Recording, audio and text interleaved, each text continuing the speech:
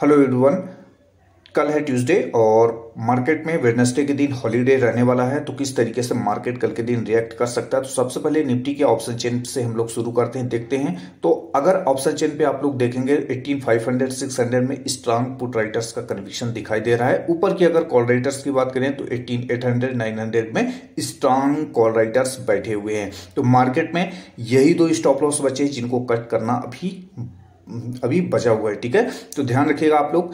इस पे अगर हम लोग ऑप्शन चेन के डेटा को देखते हैं तो स्ट्रॉन्ग कहीं कहीं से पुट राइटर्स का कनेक्शन अभी भी लोअर लेवल पे बना हुआ है।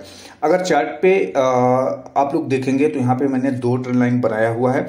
एक लार्जर टाइम फ्रेम पे, एक स्मॉल टाइम फ्रेम पे, दोनों पे आप देखेंगे तो कहीं कहीं नीचे के लेवल को बायर्स अभी भी होल्ड कर रहे हैं। हमेशा एक पॉइंट आपको बताता हूँ, आप लोग नोटिस करते होंगे कि अगर जब भी मार्केट ऊपर से करेक्शन करना हो तो मार्केट कभी भी टाइम स्पेंड नहीं करता मार्केट सीधे निकल जाता है। तो बार बार अगर एक ही लेवल पे बायर्स होल्ड कर रहे हैं तो कहीं कहीं यहाँ पे ये चीज़ पता चलता है कि नीचे साइड अभी बायर्स का कन्विक्शन बना हुआ है। डेली टाइम फ्रेम पे आप लोग देखेंगे तो लगातार दो रेड कैंडल बनने के बाद एक डॉजी कैंडल बनी है। मतलब मार्केट में क्लियर कट ये दिखाई दे रहा है कि यहाँ पे अभी भी नीचे के लेवल पे बायर्स बैठे हुए हैं और मार्केट को होल्ड करने के प्रॉपर कोशिश में है। बिटकॉइन भी काफ़ी अच्छा चल रहा है तो बहुत सारे ऐसे सेंस भी सामने आ रहे हैं जिससे कि मार्केट अच्छा कर सकता है। तो इस टाइम फ्रेम पे अगर आप जाके देखेंगे तो आज आपको इस ट्रेंड लाइन का ब्रेकआउट मार्केट ने लास्ट आवर में कर दिया है, ठीक है? तो अच्छी क्लोजिंग मिली है। 18700 के आसपास एक अच्छी क्लोजिंग निफ्टी को मिल चुकी है। तो कल देखते हैं, एक अच्छा ट्रेंडिंग मार्केट हम लोगों को देखने के लिए मिल सकता है, ठीक है?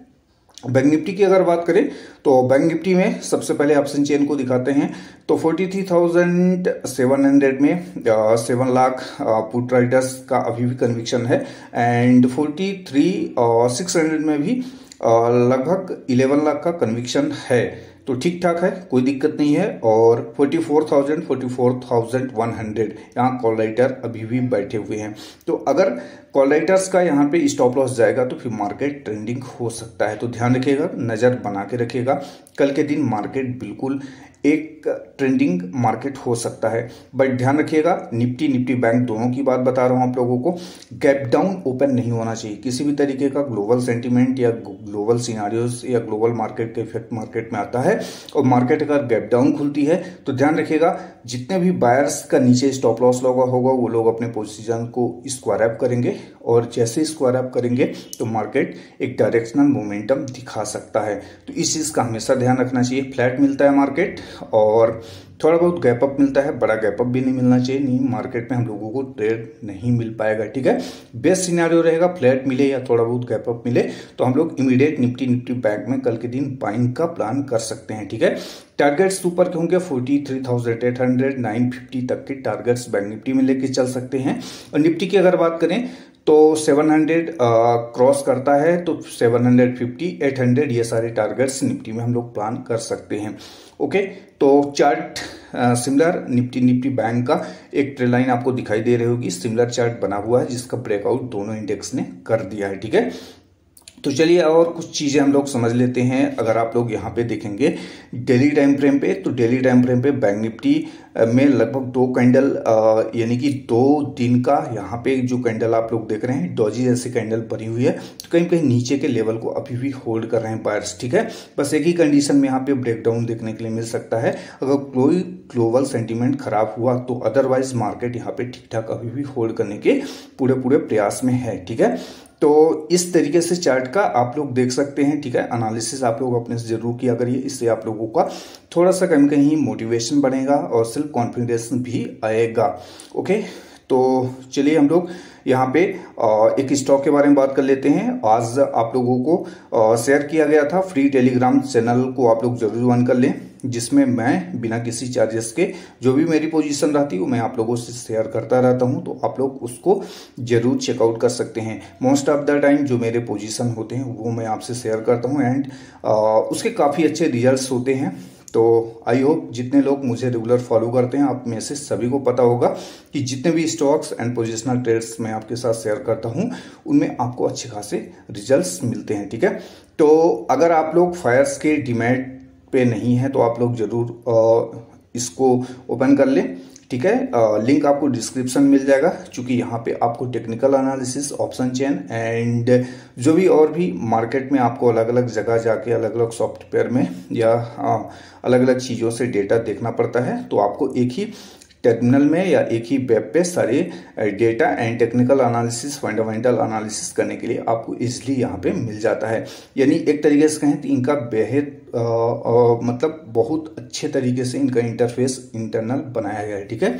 तो आप देख सकते हैं यहाँ पे ऑलरेडी मेरी पोजीशन बनी है और हो सकता है एक दो दिन में हम लोगों को अच्छा टारगेट्स भी मिल सकता है। तो नज़र बना के रखिएगा एंड ध्यान रखिएगा जो भी चार्ट्स मैं आपको देता हूँ तो हमेशा आप अपने से सेल्फ एनालिसिस करें क्योंकि रियल मार्केट में रियल मनी आपका लगना है, ठीक है? मेरी प्रॉपर एनालिसिस रहती है, उस पर मेरा स्टॉप लॉस रहता है मेरा मनी मैनेजमेंट रहता है मेरा रिस्क रहता है ठीक है? एंड उस हिसाब से मैं अपने रिवार्ड यानी कि अपने टारगेट्स का प्लान करता हूँ। तो आप लोगों का भी सिमिलर उसी तरीके से एनालिसिस होना चाहिए ठीक है? आँख बंद करके किसी भी आ, आ, आ, आप टेलीग्राम पे हों ठीक है? किसी भी पर्सन के चार्ट या आप स्टॉक को डायरेक्टली उठा के बाया सेल नहीं कर सकते। तो हमेशा ध्यान रखिएगा। और अब मैं रेगुलर एक सीरीज़ के थ्रू आप लोगों को मार्केट का क्विक अनालिसिस दिया करूँगा, जो कि हो सकता है, आज तो डिले हुआ डिले हुआ है। बट कमिंग डेज़ uh, में मैं प्रयास करूँगा कि एक फिक्स uh, टाइम रहे। उस टाइम में आप लोगों को निफ्टी निफ्टी बैंक का क्विक एनालिसिस एवरी डे मिलता जाएगा ठीक है? एंड उसके साथ साथ जो भी मेरी स्टॉक्स एंड जो भी पोजिशनल ट्रेड्स मेरे uh, रहेंगे उनको भी मैं आप लोगों के साथ शेयर करता रहूँगा ठीक है? तो वीडियो अच्छा लगा हो तो वीडियो को लाइक एंड सब्सक्राइब ज़रूर कीजिएगा। एंड ओके तो निफ्टी निफ्टी बैंक को ध्यान रखिएगा आप लोग, ठीक है?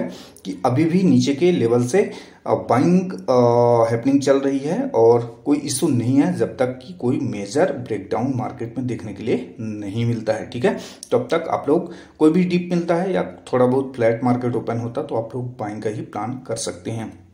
अदरवाइज़ मार्केट में अभी कोई ऐसा इशू है नहीं कि हम लोग पैनिक होकर मार्केट को सेल करें, ठीक है? तो ध्यान रखिएगा, ऊपर के लेवल से जब भी मार्केट को करेक्शन करना होता है तो मार्केट टाइम नहीं स्पेंड करता, ठीक है?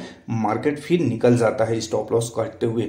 बट अगर मार्केट एक ही लेवल पे बार बार कहीं कहीं अगर टाइम स्पेंड कर रहा है तो आप समझ सकते हैं कि वहाँ पे अभी भी नीचे के लेवल पे जो बायर्स हैं, कहीं कहीं पोजिशनल ट्रेड लेके बैठे हुए हैं। तो ध्यान रखिएगा एंड आई होप आप लोगों को ये सारे वीडियोस पसंद आ रहे होंगे तो लाइक एंड सब्सक्राइब ज़रूर कीजिएगा।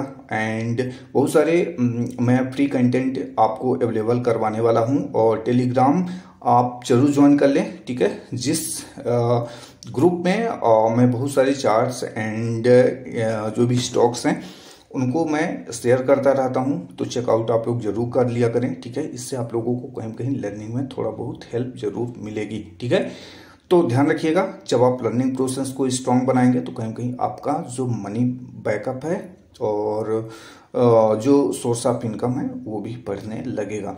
तो आज के लिए बस इतना ही ट्रेडर्स और अब हम लोग देखते हैं, इस सीरीज़ को चालू कर रहे हैं। तो हो सकता है कि रेगुलर इस पे आप लोगों को जो भी एनालिसिस है, वो रेगुलर टाइम पे आपको मिलती रहे। Thank you and happy learning happy trading